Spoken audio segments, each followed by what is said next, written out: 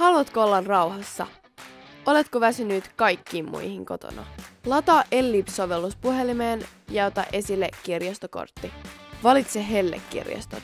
Sisäänkirjautumiseen tarvitset kirjastokortin numeron ja PIN-koodin. Valitse lainattavat kirjat. Kieli, kohderyhmä ja äänikirjat. Valitse kirja. Ja älä anna minkään häiritä sinua. Jos on kysymyksiä, ota yhteyttä kirjastoon.